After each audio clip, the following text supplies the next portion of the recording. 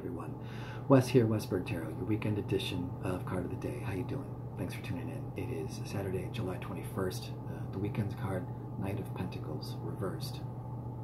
So the energy of the Knight of Pentacles really is all about learning how and kind of honing the craft of, of improving your world, improving your environment. A lot of times for us that means making more money, generating more wealth, but in a more fundamental way, it means just making a higher quality experience of the world that you live in.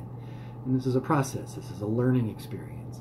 We've got it reversed uh, showing up for this weekend. So here's what I've got for y'all. If it resonates with you uh, and you're finding that you're having some impediments, you're feeling kind of stuck trying to figure out how to make things happen in your world, how to improve things, you got to sit down, you got to kind of identify what those impediments are. Try and find what's the static in the line the sooner you can, the sooner you can get past it and kind of really start connecting more and more with this uh, goal of improving and making things better. That's what I got, y'all. Take care.